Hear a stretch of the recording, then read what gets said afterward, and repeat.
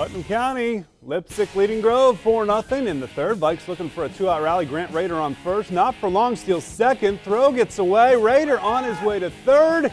He'd be safe there, but would be stranded. Bottom four, Leipsic's Robbie Lobenthal, the hot shot to third. No problem for TJ Bardot. Across the Grant Schrader for the out.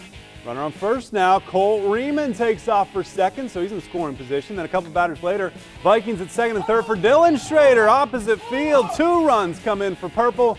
They go up six to nothing. They win this one 10-0 in six.